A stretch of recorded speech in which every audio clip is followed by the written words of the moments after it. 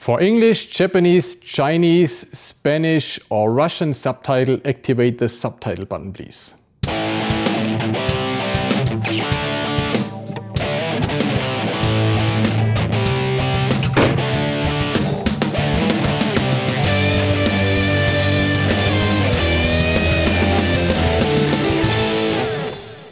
Guten Morgen, liebe Reptil TV Gemeinde, zu einer neuen, hoffentlich spannenden Folge von Reptil TV.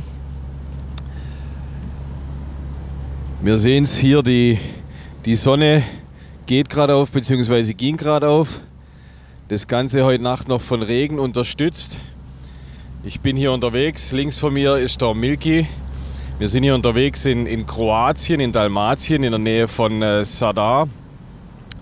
Wir wollen heute äh, Vipera amoditis suchen, die, die Nashornvipern. Hier gibt es eine schöne, hübsche kleine Unterart von der Nashornviper.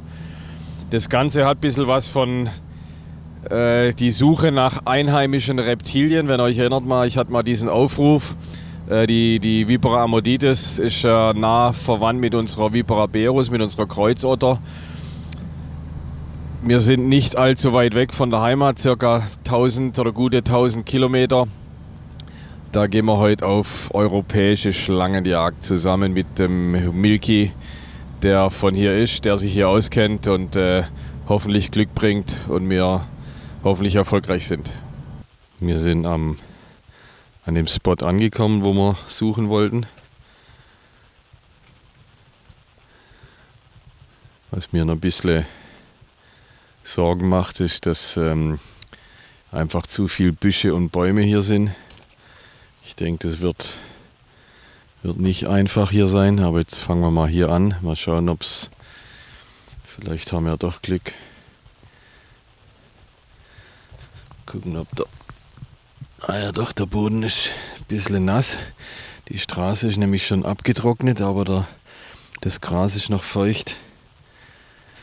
Hoffen wir, dass hier heute Nacht auch geregnet hat, weil da, wo wir her sind, wir, wir sind ungefähr 10, 15 Kilometer weiter von hier hat es heute Nacht stark geregnet. Aber ich befürchte fast, dass es hier, wenn überhaupt, dann nur ganz leicht geregnet hat heute Nacht. So, also hier nochmal mein Begleiter. Milky, say hello to Reptile TV. Hello. Also mein Begleiter, der, der Milky, beziehungsweise Josip heißt er. The, the correct name is Josip, right? Also Josip heißt er richtig, aber Milky ist sein sein Umgangsname. Er ist hier aus der Gegend, äh, studiert. You, you're gonna start veterinary medicine? Third year. Third year Yes. Okay, also seit drei Jahren studiert er Veterinärmedizin. Also er muss sich auskennen.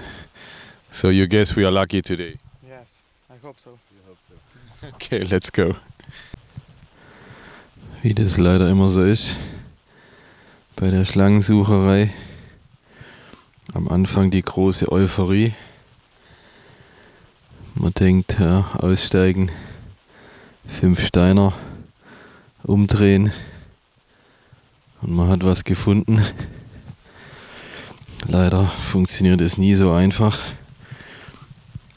Bin mal gespannt, ob wir überhaupt was finden, weil, wie gesagt, oft ist es am, oder in, in Afrika sind es ja meistens die, die Farmer, die einem sagen, na, geht da gucken oder guck, hier habe ich eine gesehen, dann hat man Glück. Aber so einfach loslaufen, das ist immer eine schwierige Sache. Mein Aussehen, also wenn ich eine Schlange wäre, wenn ich eine Schlange wäre, ich wäre hier. Also eine kleine Eidechse hat er schon mal gefunden. Aber die sind leider auch so schnell, dass die ratzfatz weg sind. Milky sagt, irgendwas wäre hier drin, aber er kann nicht sehen, was es ist. Bis wir die Mauer hier zerlegt haben, ist natürlich das Tierchen weg. Wenn wir also keine Schlangen finden, zumindest hier so kleine Gottesanbeterin. Kroatische Praying Mantis. So, jetzt kommt die, die Sonne kommt jetzt auch raus. War bis jetzt hinter den Wolken. Hoffen wir mal, dass die, die Sonne uns auch die, die Schlangen rausbringt. Absolut verhext hier. Ich meine, die das Gebiet ist sowas von perfekt, denke ich. Aber nicht ein Tier bis jetzt. Wir eine schöne Höhle. Wünsche ich mir jetzt einen afrikanischen Trapper bei. Der könnte da gleich sehen und sagen, ob da was drin ist oder nicht. Gehen jetzt an einen anderen Ort. Hoffen wir, dass wir woanders mehr Glück haben. Auf dem Weg hierher haben wir so, habe ich so ein paar Wiesen gesehen mit so Natursteinmauern zwischendrin. Jetzt gehen wir mal schauen, ob wir vielleicht an den Wiesen mehr Glück haben. Hier die perfekte Felsmauer. Also ich wiederhole mich ja, wenn ich Schlange wäre, wäre ich genau hier. Gibt wohl im Jahr hier in Kroatien 30 so pro Jahr circa 30 Bissunfälle immer. Jetzt die Woche war auch irgendein, irgendein Jäger, scheinbar wurde gebissen, stand in der Zeitung. Also die, ja gerade auch die Amaditis, die beißen schon mal zu. Und ist nicht ganz so Pillepalle wie unsere, oder was heißt Pillepalle, aber es ist nicht nicht so einfach getan wie bei unseren Berus. Ne? Also Amaditis-Biss ist schon ein bisschen stärker, ein bisschen unangenehmer. Und meines Wissens dann auch immer mit Serum zu behandeln. Wir sind jetzt hier bei einem Freund von Milky, der hat hier in der Stadt so eine Reptilienausstellung. Mal schauen, ob er uns vielleicht ein bisschen weiterhelfen kann, wo wir hier auch nicht nur in der Ausstellung, sondern wirklich in the Wild die Amoditis finden können. Ja, die haben hier eine schöne Ausstellung gemacht. Der, der wo die Ausstellung macht, ist eigentlich äh, Fotograf. Also die Bilder, die hier sind, sind alle von ihm selber gemacht.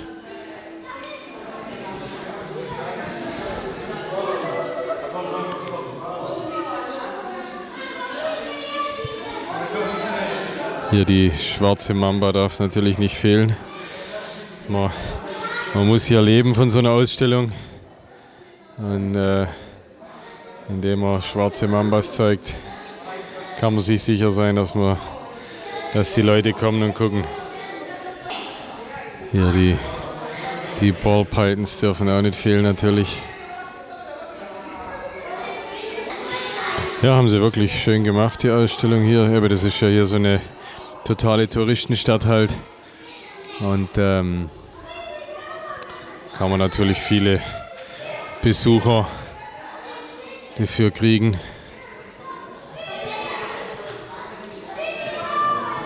Schöner Diamant hier. Ah, da kommt der Kollege gerade raus. Varanus panoptes ist das. Argus Varan auf Deutsch.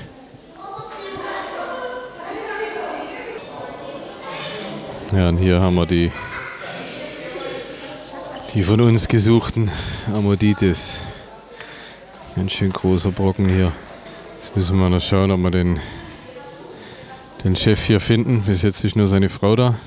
Wie gesagt, wäre interessant zu fragen, ähm, ob er uns ein paar Ratschläge hat, wie wir hier auf unserer Amoditis-Jagd fündig werden. Samstagmorgen, 5.30 Uhr. Da oben steht noch der Mond. Da hinten geht die Sonne gerade auf. Wir machen einen neuen Versuch. Nachdem wir das letzte Mal erfahren haben, dass ab ca. 6.30 Uhr morgens absolut nichts mehr zu finden ist und wir so ziemlich erst um kurz nach 6 angefangen hatten, sind wir heute eine gute Stunde früher dran, machen heute unseren zweiten Versuch und gehen Amoditis Hunting.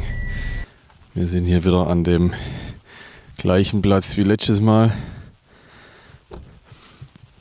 Von der Beschreibung her, von den Leuten, die diese Tiere gesehen haben, die sagen, niedrige Vegetation an den Mauern, werden wir fündig. Es ist 6 Uhr morgens. Da oben haben wir noch den Mond Allerdings, meiner Meinung nach, sind wir doch wieder. Also die Sonne kommt da hinten schon raus. Ich glaube, wir sind doch schon wieder halbe Stunde, Stunde zu spät. Vielleicht sollte man wirklich in der absoluten Morgendämmerung gehen. Ah, hier, hier finden wir schon gleich mal eine überfahrene.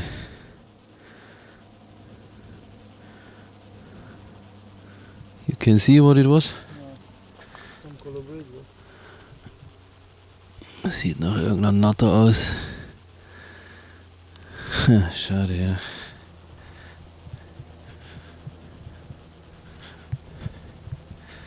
Hier ist so ein Wasserloch. Weiß zwar nicht, ob direkt Amoditis am Wasserloch sitzt. Ich denke eher nein. Aber vielleicht irgendwelche anderen Kolubrids oder so. Kommt die Sonne über den Berg da hinten.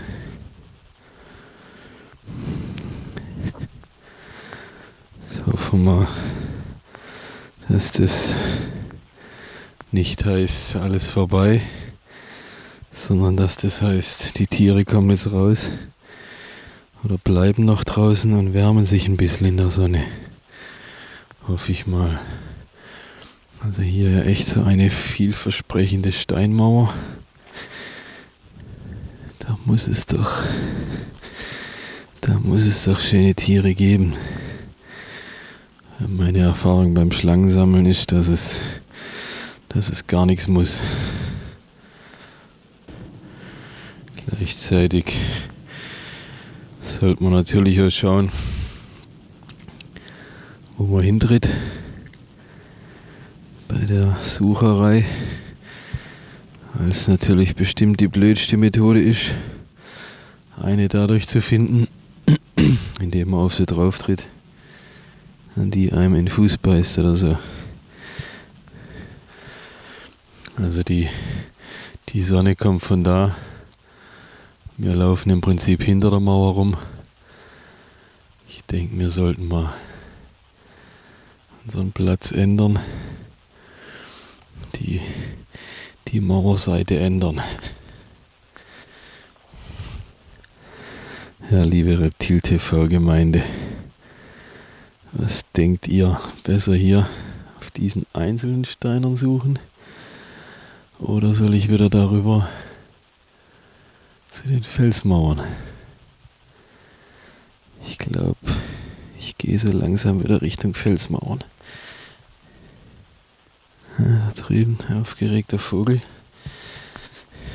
Bei den, bei den Boas auf Saboga war das ja der Fall. Ne? Die, die, die Trapper, die mit uns unterwegs waren, die haben auf die Vögel gehört. Da, wo die Vögel aufgeregt gezwitschert haben oder so einen ganz bestimmten Warnruf gemacht haben, da waren die Boas in den Bäumen gehangen. Jetzt mal gucken, ob die die kroatischen Vögel das so ähnlich machen. Aber ich glaube, sinnvollerweise muss ich jetzt auch mal meine Kamera aus der Hand legen, weil ich vor lauter Filmen nicht richtig die Aufmerksamkeit beim Suchen habe. Also mal kurze, kurzer Break und intensives Gucken. Hier zumindest so ein schöner Skolopender. Jetzt ist er weg. Ich wollte gerade noch sagen, sieht so aus, wie wenn wir heute zurückgehen können. Wir sind eigentlich hier auf dem Rückweg. Da unten steht schon unser Auto. Ja, yeah, you find something? Ey, tatsächlich. Let me see. Okay.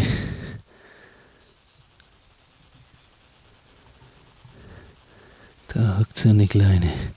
So where it was where you find it? Here, Okay, okay. this place.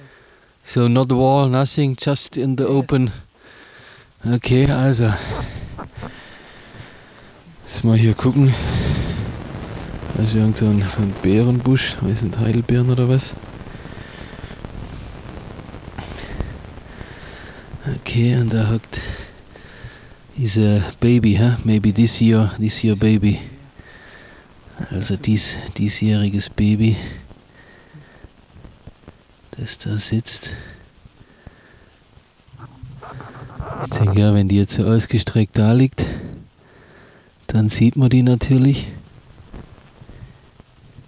When you find it right to bite or not? No? it's very calm.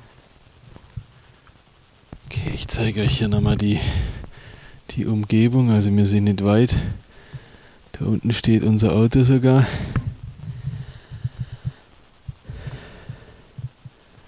Wir haben hier die, das offene Gebiet. Da hinten sind die, jetzt sieht man gar nicht die Mauern, die wir gerade abgeklappert haben, aber die sind direkt da ein Stück weiter hinten. Okay, und jetzt wenn ich, ah doch, jetzt sehe ich sie trotzdem. Gerade schon gedacht, wenn ich einen Moment nicht hingucke, ist sie weg. Aber tatsächlich, da hockt die immer noch. Der Gag ist, wir haben jetzt ja wirklich die ganze Zeit auch in den Felsen geguckt oder in den, ja, in den Mauern. Ich meine, klar haben wir hier auch, hier haben wir auch Steiner Felsen, aber wir haben hier keine Mauer. Frage, haben wir falsch gesucht oder, oder hat die hier, war die gerade einfach auf dem Nachhauseweg? Ein neuer Tag. Jetzt ist ähm, halb elf Uhr vormittags. Ihr seht hier hinter mir diese Straße.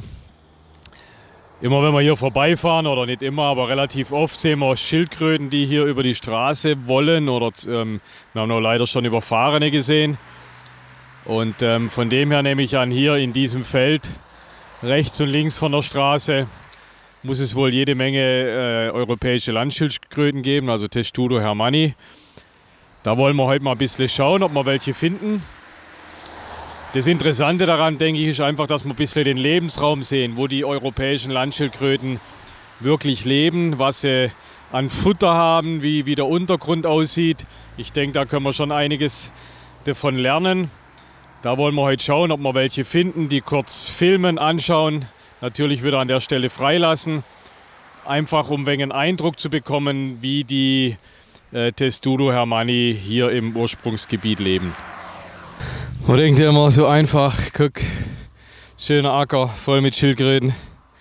Da gehen wir jetzt suchen, da finden wir hunderte. Aber halbe Stunde später noch nicht ein Tierchen gefunden. Die sind halt einfach so super getarnt. Die sind einfach irgendwo da unten drunter versteckt. Und trotz, trotzdem, dass wir hier mit einem Fünfertrupp am Suchen sind, noch nicht ein Tierchen gefunden. Ich weiß nicht, ob man es auf der Kamera erkennen kann, aber hier unten sind so die kleinen Wege, Trampelpfade. Ne, das, Glas, das Gras da unten wegen so flach getreten. Seht ihr es da unten? Da, da laufen die, da laufen die durch. Ja, wir sind, wir sind von der Uhrzeit, es ist schon wieder relativ heiß. Vielleicht, oder ich denke, dass um die Uhrzeit werden die halt echt schon alle verkrochen sein. Ja, das ist ja so die, die Gefahrenzone. Die kommen hier raus, laufen darüber. Das ist einfach das Gefährliche.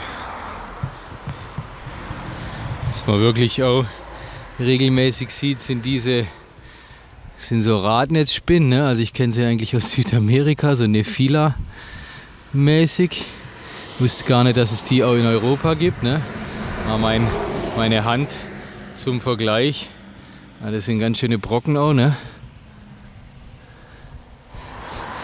Somit brechen wir Tag 1 unserer gezielten Suche mit Kamera ab. Es ist jetzt äh, 11, halb 12. Es wird auch zu heiß für uns und für die Schildkröten. Wir bleiben weiter dran. Wir werden es äh, sicherlich nochmal probieren. und hoffen wir, dass wir beim nächsten Mal erfolgreicher sind. Wir haben es jetzt abends 19 Uhr. Da hinten geht so langsam die Sonne unter. Ich bin jetzt wieder an der gleichen Stelle wie heute oder wie heute früh. Mal schauen, wenn es jetzt äh, kühler ist am Abend, ob ich dann wenig erfolgreicher bin hier. Also hier wieder so ein ganz typischer Schildkrötenpfad. Ja. Der geht hier durch. Ne, man sieht es richtig zum Teil so Gänge unten durch. Ja. Hier die Senke runter, da hinten weiter. Das ist wirklich wie so ein Trampelpfad. Ne? Also nicht so gerade, wie ihn jetzt ein Mensch laufen würde, sondern einfach so wegen in Kurven. Ich verstehe nur nicht, wieso mir das Glück nicht so hold ist, dass ich am Anfang oder Ende dieses Weges auch die, die verantwortliche oder verantwortlichen Schildkröten dafür finde. Das Blöde ist, die geht auch wieder, der Weg geht wieder voll an die Straße hier. Ah, okay. Ich sehe gerade, da ist eine Unterführung unter der Straße durch. Könnte es wirklich sein, dass die so schlau sind und hier unter der Straße zumindest ein Teil von den Tieren unter der Straße durchläuft. Wie gesagt, wir haben ja schon genug oder schon welche gesehen, die drüber laufen wollten, beziehungsweise auch schon Überfahrene gesehen. Aber kann wohl echt sein, dass hier welche unten durchlaufen. Leider wieder ein Fehlversuch. So viele Spuren von den Tieren und nicht eine hier zu finden. Ich werde nicht aufgeben. Neuer Tag, neue Suche morgen. Andere Uhrzeit vermutlich. Neuer Tag, neuer Versuch auf unserer Schildkrötensuche. Jetzt so die, die ganz einfache Methode. Morgens um die Zeit, das war eigentlich immer die, wo sie über die Straße laufen. Da mal kurz die Straße abgehen, ob wir was finden. Von den, von den Spuren hier am Straßenrand muss hier dieses Feld wirklich das, das Hauptfeld von denen sein, wo die meisten sind. Ne? Also ist interessant, ist relativ hohes Gestrüpp. Ne? Es sind nicht die, die Wiesen drumherum, die flachen, sondern es ist wirklich hier das, das hohe Gestrüpp, viel so Brombeer, Himbeer, was weiß ich, was das dazwischen drin ist. Oder so Blätter, klar, das gibt natürlich auch gute Nahrung für die. Und ähm, wenn man unten schaut, sieht man wirklich viel so, so Trampelpfade, ne, die, ich, die wir euch schon gezeigt haben oder die ich euch schon gezeigt habe. Also irgendwie scheinen die, glaube ich, das hier als Lieblingsbiotop auserkoren zu haben. Heißt dann aber auch, dass sie doch gar nicht, oder ja gut, im Prinzip sind sie dann den ganzen Tag so im, im Halbschatten. Ne? Also so richtig in der prallen Sonne sind die dann gar nicht.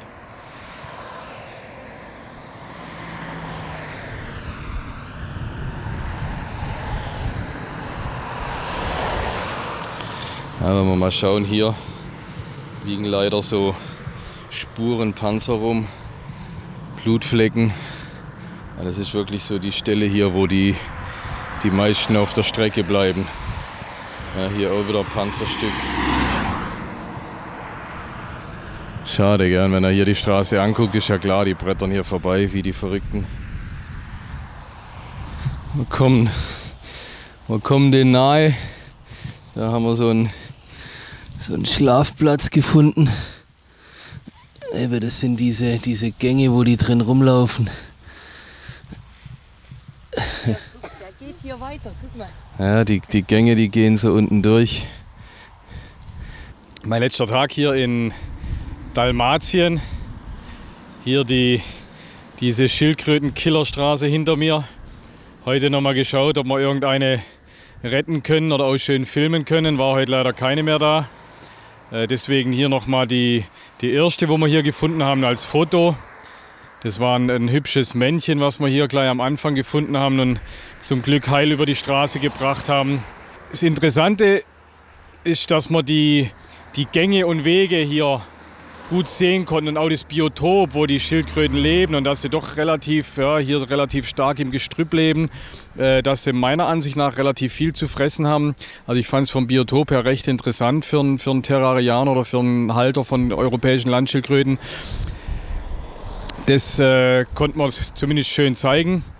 Mit unserer Amoditis ist auch bei dem Baby geblieben. Eine große wäre auch noch schön gewesen, leider auch, auch nachts nichts zu finden. Aber das ist halt das Schwierige am, das Schwierige am Reptilienhunting. Also dann bleibt mir treu, checkt meine Balls und äh, helft in den Schildkröten über die Straße, falls ihr mal in Kroatien Urlaub macht.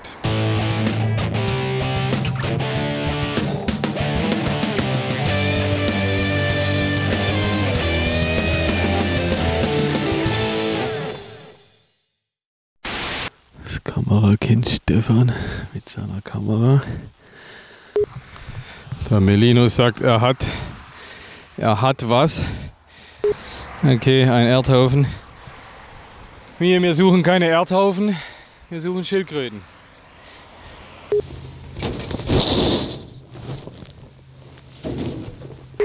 Bin dummerweise barfuß los. Lauf hier auf den, auf den Discheln rum, stacks hier am Straßenrand rum. Wieder wie der letzte Idiot.